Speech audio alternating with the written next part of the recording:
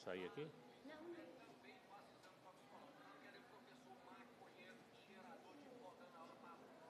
Já registrou? Não. não. Ainda não, o deputado não apareceu não. Tem alguma coisa que tem que fazer aqui. vê.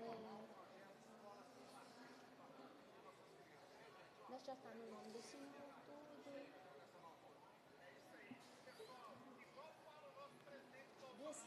Nesse, ah, Deixa eu não tá, não.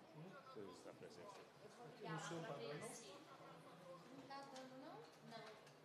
Deixa eu ver por Quer? Pra ver, a do presidente não tá, não. Pronto, Aí, foi. do lado Já conseguiu? Conseguiu no outro terminal. Mas isso aqui é alguma coisa que nós. É aqui, ó. Era aqui. Tava esperando aparecer. Pronto, eu também. Marquinhos, você conseguiu ir? A presidência, nos termos do parágrafo 1 do artigo 102 do Regimento Interno, dispensa a leitura da ata da reunião anterior, considera aprovada e solicita sua substituição. Essa reunião se destina a receber, discutir e votar a proposição da comissão.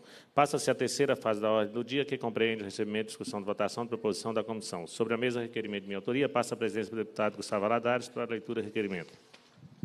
Com a palavra, deputado Jean Freire. Senhor presidente da Comissão de Passação Popular, o deputado que subscreve requer de Vossa Excelência nos termos regimentais do artigo 100, para, do artigo 100, parágrafo 5 combinado com o artigo 128 do Regimento Interno, que seja realizada audiência pública conjunta com a Comissão de Direitos Humanos para debater a importância do Conselho Estadual de Direitos Humanos de Minas Gerais.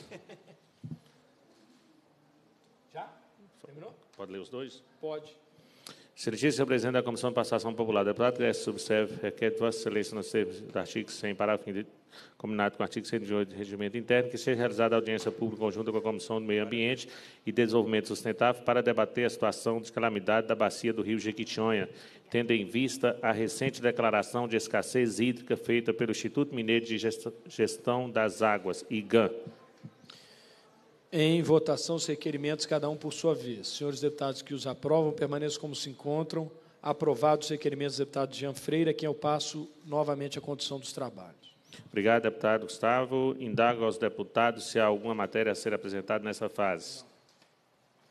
Cumprida a finalidade da reunião, a presidência agradece a presença dos parlamentares, dos convidados por presente, convoca os membros para a próxima reunião ordinária, determina a lavratura da ata e encerra os trabalhos.